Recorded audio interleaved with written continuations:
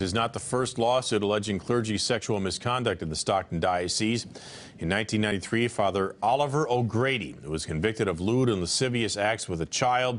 He was sentenced to 14 years in prison.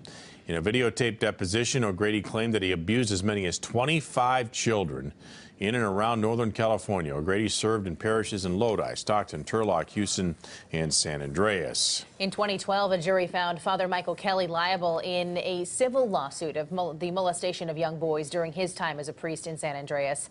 The next day, Kelly fled to his native Ireland. The diocese settled the lawsuit for nearly $4 million. In 2014, a grand jury indicted Kelly and a warrant was issued for his arrest. In 2014, the Stockton Diocese filed for bankruptcy protection in the wake of the sexual abuse scandal. The diocese said it had spent $14 million in legal settlements over the past 20 years and didn't have the money to settle pending and future lawsuits.